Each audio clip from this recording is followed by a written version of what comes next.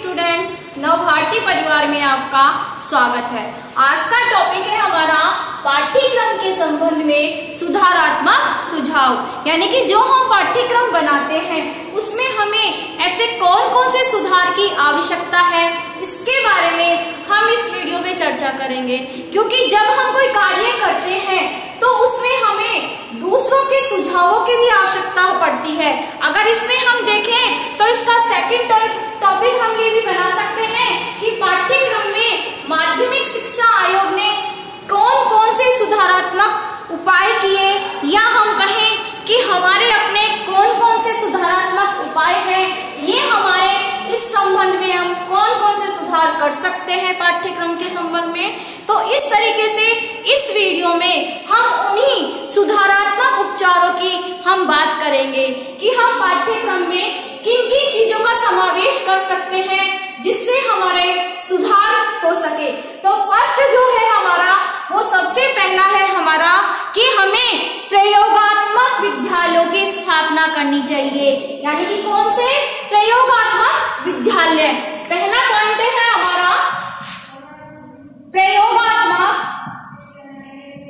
प्रयोगात्मक विद्यालय। प्रयोगात्मक विद्यालय।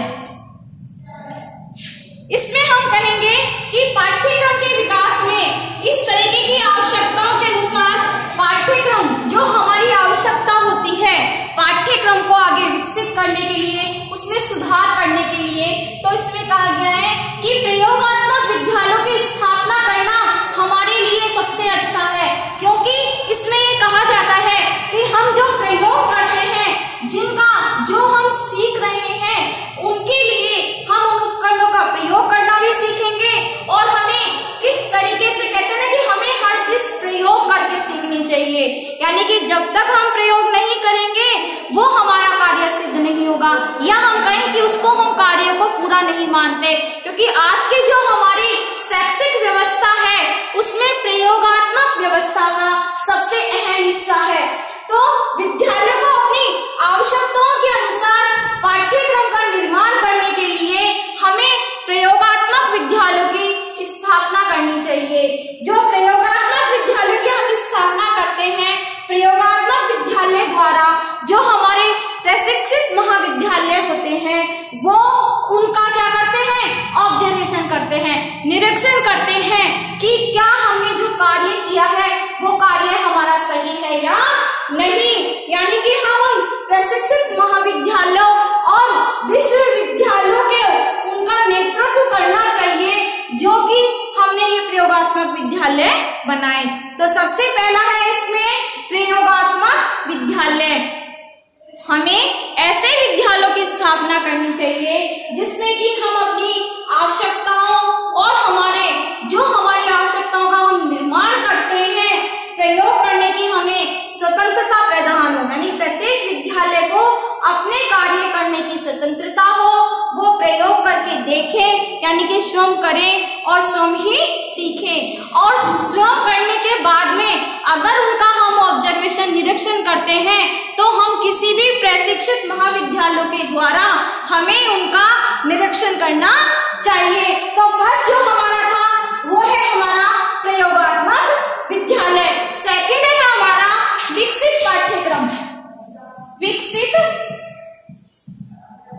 हमारा विकसित पाठ्यक्रम, यानी कि हमने पहले पढ़ा था इसमें कि विकसित पाठ्यक्रम, जो हम लास्ट वीडियो में भी हमने विकास के बारे में पढ़ा था, विकसित पाठ्यक्रम। विकसित पाठ्यक्रम। विकसित पाठ्यक्रम। हमने लास्ट वीडियो में देखा था विकसित पाठ्यक्रम कौन सा है? हमने देखा जहाँ प्राचीन काल में जो शिक्षा एक संकुचित तौर पर था, क्या हमारी वैदिक काल में हमारा जो पाठ्यक्रम था, क्या वो हमारा विकसित पाठ्यक्रम था? नहीं, विकसित पाठ्यक्रम है हमारा, जो आज का हमारा पाठ्यक्रम है, जो आज कहते हैं कि हम वैदिक काल से और जो प्रयोगात्मक काल तक हमने जो जो वर्ड जो जो परिवर्तन उसमें किए, वो हमारे पाठ्यक्रम की श्रेणी में आएँगे। विकसित पाठ्यक्रम का जो आज का हमारा पाठ्यक्रम है, अर्थात हमने जो आज की शिक्षा ग्रहण कर रहे हैं, आज की जो शिक्षा ग्रहण करने के लिए हमारा पाठ्यक्रम बन रहा है, वो पाठ्यक्रम, क्या हो रहा है वो पाठ्यक्रम का? हम हमारे जीवन में उसका प्रयोग करना सीख रहे हैं कि किस तरीके से हमें उन पाठ्यक्रम का प्रयोग करना है। अर्थात हम हमारी पर हम ये पाठ्यक्रम तैयार कर रहे हैं।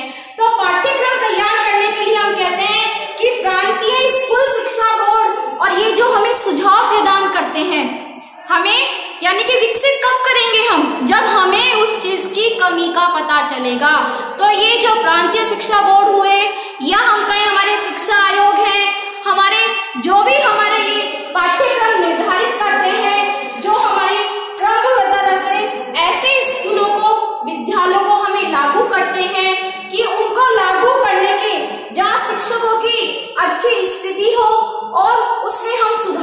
सके। तो ऐसा पाठ्यक्रम, यानी कि हमारी अगर कुछ पाठ्यक्रम में गलती है तो हमारे प्रांतीय स्कूल वाले, शिक्षा आयोग जो हैं, वो सब हमारे पाठ्यक्रम में एक कमी जो होती है, उसे दूर कर सके वो। विकसित पाठ्यक्रम की भूमिका बताई थी कि अगर विकसित पाठ्यक्रम तभी होगा, जब हमारे पाठ्यक्रम को हम हमारी आवश्यकता के आधार पर, हमारी शिक्षा के अनुरूप हम उस पाठ्यक्रम को बनाएँगे। तो हमारा जो सेकंड पॉइंट था वो है हमारा विकसित पाठ्यक्रम, फ़र्स्ट था हमारा प्रयोगात्मक विद्यालय, थर्ड है हमारा पाठ्यक्रम विकास में शोध के कार्य। पाठ्यक्रम पाठ्यक्रम विकास में शोध के, शोध कार्य। पाठ्यक्रम विकास में शोध कार्य हम देखते हैं कि पाठ्यक्रम संबंधी जो हम शोध के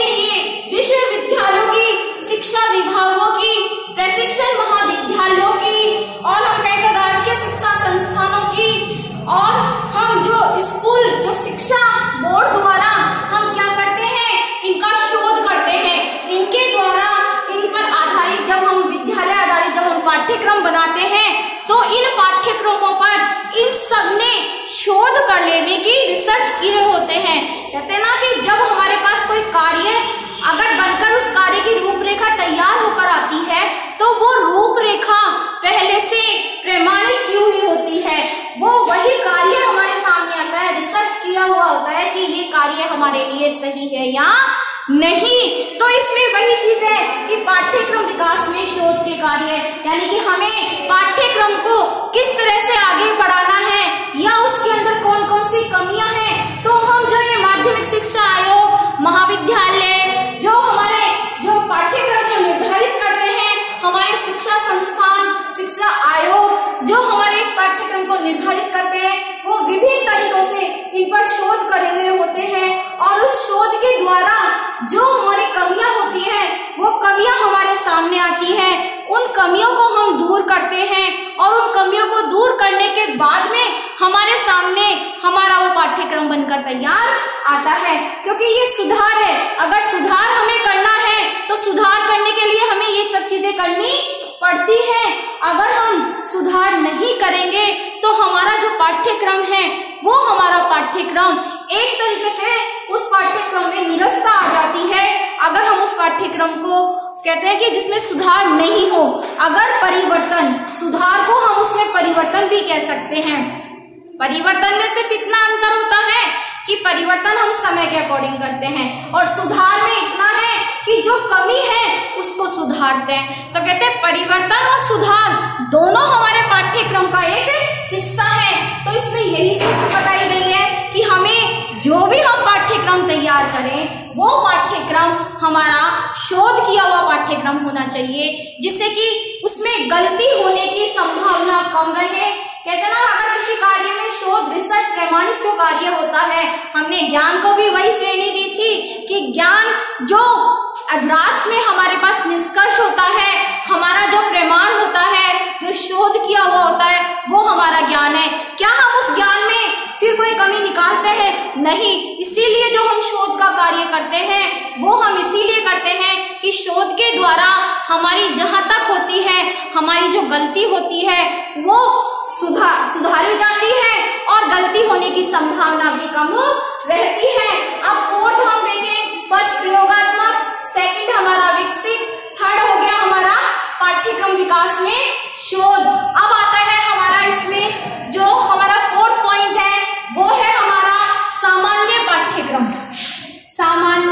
पाठ्यक्रम। सामान्य पाठ्यक्रम। इस पाठ्यक्रम को हम एक अल्पकालिक पाठ्यक्रम भी कह सकते हैं। अल्पकालिक अल्पकालिक पाठ्यक्रम। यानी कि अल्पकालिक, जो कम समय के लिए हो। और अल्पकालिक पाठ्यक्रम क्या होता है? हम ये कहते हैं कि जब हम 10 वर्ष तक हम जो शिक्षा ग्रहण करते हैं, वो एक तरीके से 10 वर्ष का जो हमारा ज्ञान होता है, वो ज्ञान कैसा होता है? हमारा सामान्य पाठ्यक्रम होता है। ये कहते हैं कि जो हमारा कम से कम हमारा जो अल्प व्यवसायिक विद्यालय का जो ज्ञान होता है जो सामान्य ज्ञान होता है दस वर्ष का उसे क्या करना चाहिए हमें उसे इस व्यवस्था ऐसी व्यवस्था होनी चाहिए उसकी कि जैसे हम व्यवस्था बनाते हैं उस पाठ्यक्रम की कि उस पाठ्यक्रम को हम विभिन्नीकरण पर ला सके। अर्थात हम देखते हैं कि जब हम शुरू में शिक्षा ग्रहण करते हैं तो हम जो 10 वर्ष तक का जो ज्ञान होता है हमारा, उसी को ही हम विभिन्न विभिन्न शाखाओं में बांटते हैं। विभिन्नीकरण यानी कि उसका विश्लेषण कर देते हैं हम। विभिन्न भागों में उसका विभाजन करते हैं। तो ये चीज़ हम भी जानते हैं कि जब तक हमारा सामान्य ज्ञान, जब तक हमारा परिपक्व नहीं हो सकता तो हमारे लिए जो हमारी मेन शाखा है उसको हम नहीं सकते तो इसमें वही चीज़ बताई गई है कि जो अल्प व्यवसायिक या अल्पकालिक जो समय होता है, उसका सामान्य ज्ञान को हमें इस तरीके का ज्ञान प्रदान होना चाहिए कि हम उसको, जब हम उसे विभिन्नीकरण करें उसका तो हमें विभिन्नीकरण करने में हमें उस चीज़ का पता होना चाहिए कि जिस चीज़ का हम चयन कर रहे हैं, वो हमारे लिए सही है या नहीं। तो यही सामान्य पाठ्यक्रम में बताया जाता है कि जब तक हमें सामान्य पाठ्यक्रम का हमें ज्ञान नहीं में कोई सुधार नहीं हो सकता। कहते हैं, पाठ्यक्रम में अगर हमें सुधार करना है तो पाठ्यक्रम को सुधार करने के लिए हमें सबसे पहले जो हमारा सामान्य पाठ्यक्रम है, उसे 10 वर्ष तक हमें उस पाठ्यक्रम को अच्छे से हमें ग्रहण करना चाहिए और ग्रहण करने के बाद में हमें उस पाठ्यक्रम का, उस ज्ञान का विभिन्नीकरण करना चाहिए। और हमारा पांचवा पॉइंट है इसमें जो फ़र्स्ट हमारा प्रयोगात्मक विकसित पाठ्यक्रम विकास में शोध और फोर्थ सामान्य पाठ्यक्रम। इसी तरह से हमारा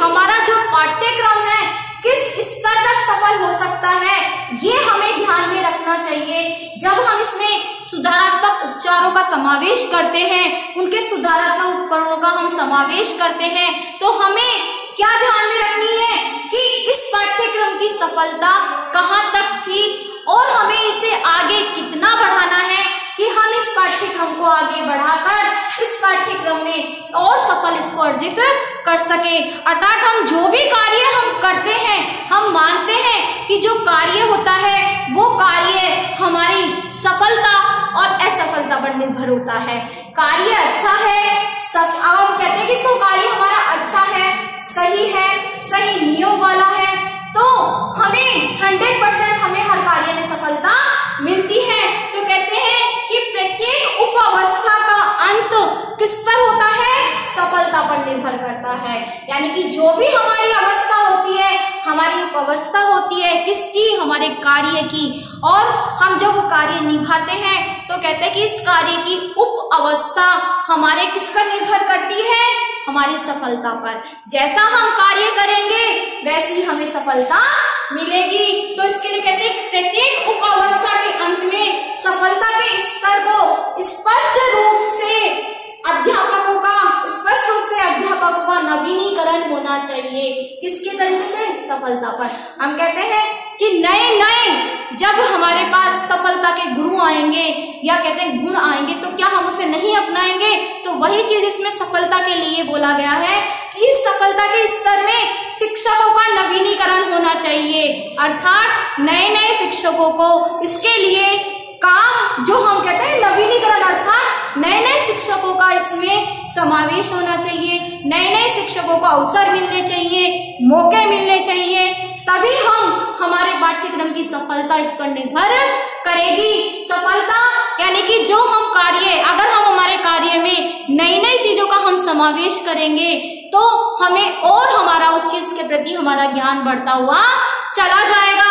इसमें यही चीज़ बताई है कि सफलता का स्तर है शिक्षकों का नवीनीकरण, जो हम अपनी उप अवस्था का अंत में सफलता, कालीन जो सफलता करते हैं हम, और स्तर को जो स्पष्ट करते हैं, उसके लिए इसमें हम सफलता के स्तर को कहते हैं। अब आता है हमारा सेवाकालीन शिक्षा। फिर आता है हमारा सेवाकालीन सेवाकालीन शिक्षा। सेवाकालीन, यानी कि जो हमारा पाठ्यक्रम के अनुसार जो हमारी सेवाकालीन शिक्षा है, उसमें हम क्या करते हैं? कि जो सेवानिवृत्त सेवाकालीन जो समय होता है, कहते हैं ना कि एक हमारे शिक्षकों की एक आयु निश्चित की गई है, जहाँ हमारा वो समय एक सेवाकालीन का समय आ जाता है। तो इसमें वही चीज़ है कि हमें जो अध्यापक सेवाकालीन के पास में है, उन्हें हमें, जहाँ उन्हें एक कहते हैं कि एक विश्राम की आवश्यकता होती है, वहाँ हमें उन्हें विश्राम देकर हमें नवीन अध्यापकों का, जो हम कहते हैं नवीन भर्ती होनी चाहिए, अध्यापकों का नवीनीकरण हमें यहाँ करना चाहिए। जो सेवाकालीन विद्या, जो सेवाकालीन जो शिक्षक होते हैं, उनसे हमारे जो नवीन अध्यापक होते हैं, उनका थोड़ा प्रशिक्षण लेना चाहिए कि हमें आगे उन कार्यों में और क्या प्रगति करनी है। तो इसमें वही चीज़ बताइए कि सेवाकालीन शिक्षा अर्थात नए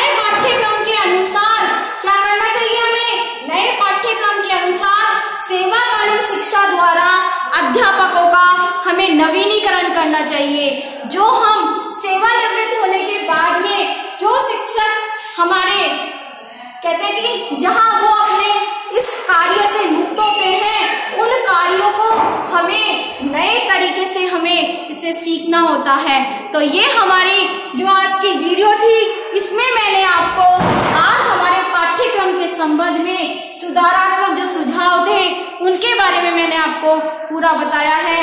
इसमें बताया मैंने कि प्रयोगात्मक विद्यालय, जो कि हम क्या प्रयोग करना, यानी कि जो विद्यालय हमें प्रयोग करना सिखाएँ, हमें विद्यालयों को इतनी स्वतंत्रता प्रदान करनी चाहिए कि वो स्वयं, यानी कि हमें विद्यालयों को आज़ाद छोड़ना चाहिए। कुछ ऐसे विद्यालयों की स्थापना करनी चाहिए, जो अपना कार्य स्वयं करें। और उसके बाद में उनके ऊपर हमें ऐसे महाविद्यालयों की या विद्यालयों की स्थापना कर देनी चाहिए, जो उनका ऑब्जर्वेशन कर सके, जो विद्यालय हमने उपस्थित किए, जो विद्यालय हमने निर्मित किए। सेकंड था हमारा विकसित पाठ्यक्रम, क्योंकि जैसे जैसे हमारे पाठ्यक्रम विकसित होता जाएगा, उसमें सुधार होता चला जाएगा। क्योंकि आज जो हमारे पाठ्यक्रम में जितना भी सुधार हुआ है, वो पाठ्यक्रम में सुधार क्यों हुआ है? इस विकसित पाठ्यक्रम के आधार पर। तो हम जो पाठ्यक्रम में विकसित करते रहते हैं, हम पाठ्यक्रम को आगे बढ़ाते रहते हैं, वो हमारे इस पाठ्यक्रम की देन है। फिर है हमारा सेकंड थर्ड जो था, पाठ्यक्रम विकास में शोध के कार्य। हम मानते हैं कि हमारे कार्य में जो नवीन शोध होते रहते हैं तो शोध जो हमारे जिस क्षेत्र से संबंधित होते हैं, जो हमारे शोध के द्वारा हमें उस से संबंधित हमारी जितनी भी कमियाँ होती हैं हमें उसके बारे में पता चलता है। तो हमें इसके अंदर शोध जो संबंधित जो कार्य है, उनका भी हम समावेश करना चाहिए। फिर था हमारा सामान्य पाठ्यक्रम, जिसे हम अल्पकालिक अल्प व्यवसायिक पाठ्यक्रम भी कह सकते हैं। वो हमारा एक थोड़े समय का अल्प व्यवसाय जिसे कहते हैं कि हम जहाँ बाद में पूरी व्यवसायिक शिक्षा ग्रहण करते हैं, या एक तरीके से हम आजीविका की शिक्षा ग्रहण करते हैं, उससे पहले जो हम शिक्षा ग्रहण करते हैं एक हमारी सामान्य शिक्षा होती है। जनरल ज्ञान होता है। वो ज्ञान हमारा कम से कम दस वर्ष तक हमें वो सामान्य ज्ञान लेना चाहिए। फिर तो हमारी सफलता का स्तर। यानी कि हम देखते हैं कि प्रत्येक कार्य का करना हमें उसकी सफलता पर निर्भर होती है कि हमारे कार्य कार्य में कितनी सफलता हमें अर्जित है। फिर है हमारी सेवाकालीन शिक्षा, यानी कि जो हम शिक्षा सेवा निवृत्त होते हैं, उसके बाद में हमें नवीन अध्यापकों का, इसमें क्या करना चाहिए? नवीन अध्यापकों का नवीनीकरण करना चाहिए। तो आज के हमारी वीडियो में थे हमारे पाठ्यक्रम के संबंध में सुधारात्मक सुझाव। नेक्स्ट वीडियो में मैं आपको अपना नेक्स्ट टॉपिक लेके आऊँगी। धन्यवाद।